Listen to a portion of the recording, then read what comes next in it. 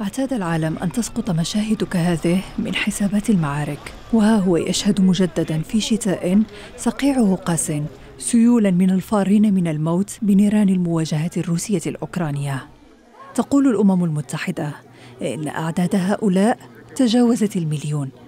الرقم صادم والصادم أكثر أنه تم إحصاؤه في غضون أسبوع لا أكثر.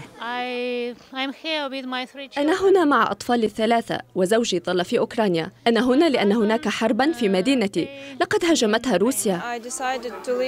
قررت مغادرة أوكرانيا لأن شقتي تقع بالقرب من جامعة التكنولوجيا وهناك للأسف قتال في المكان الذي أقطنه. مليون لاجئ خلال سبعة أيام. ماذا عن القادم؟ تقف دول الجوار الأوكراني متأهبة أمام السؤال.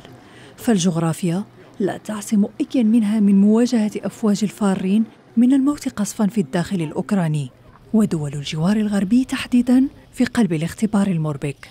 وفق آخر بيانات بولندا أقرب نقطة حدودية لأوكرانيا فإن نحو 580 ألف لاجئ أوكراني دخلوا أراضيها. وعبر النقاط الحدودية الخمس بين أوكرانيا وهنغاريا نفذ نحو 120 ألف شخص من الفارين من نيران العملية الروسية. نحو 80 آخرين وصلوا إلى مولدافيا بينما فر أكثر من 60 ألف شخص عبر أقصر حدود لأوكرانيا إلى سلوفاكيا. ورحلة الشتات الأوكرانيين لا تنتهي في الجوار. فوفق تقديرات للأمم المتحدة نحو 70 ألف شخص نجحوا في الوصول إلى بلدان أوروبية أخرى.